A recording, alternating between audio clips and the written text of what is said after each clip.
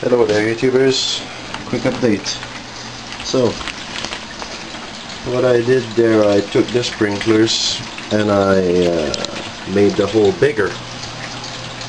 Now as you can see, it's sprinkling everywhere. More than what I need and definitely uh, very high there, no problem.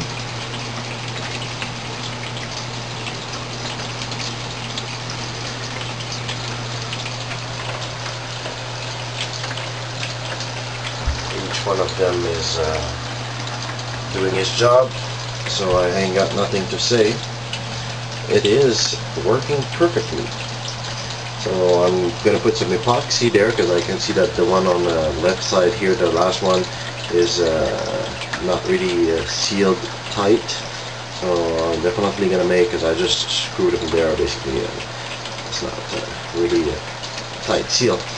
So uh, I need one and I'm gonna make one so with some epoxy glue and uh, that should be it. After that I'm going to put the lid on uh, pierce the hole in the lid and all that. Right? Thanks